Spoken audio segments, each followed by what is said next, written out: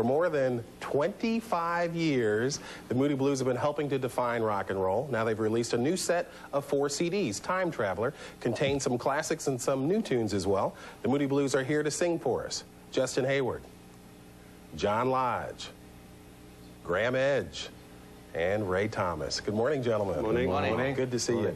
Graeme, they've been here before. You and Ray haven't. I want to start with you so people can see that you do speak before Good noon. judge. Yeah. 25 years is a long time for a marriage to last. That's Tell me how this marriage has worked for so long.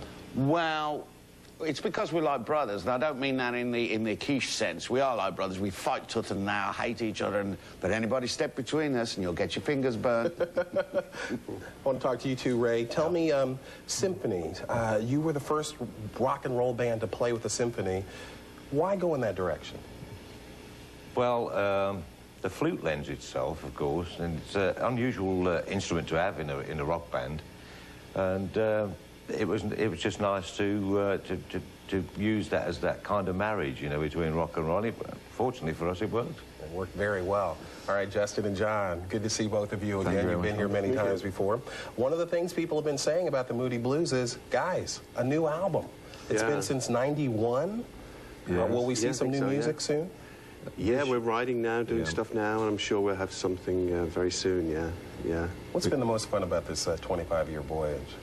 We've gone around the world actually with different symphony orchestras, and it's opened up. Uh, that's the great thing about rock and roll. It opens up so many doors, and you do things which are so unexpected. It's great. Well, we are thrilled to have you on with us this morning. Would you play? Absolutely. Say yes, ladies and gentlemen, the Moody Blues. The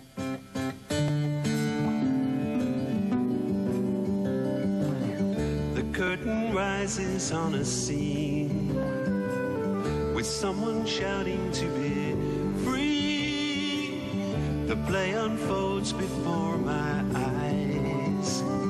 There stands the actor who is me.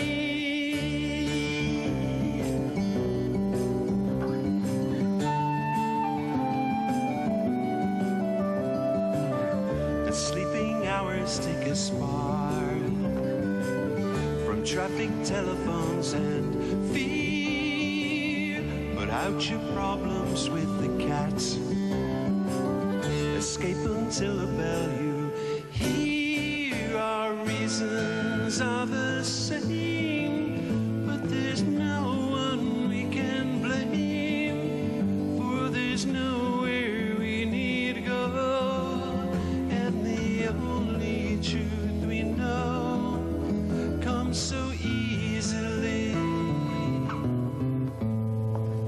the sound.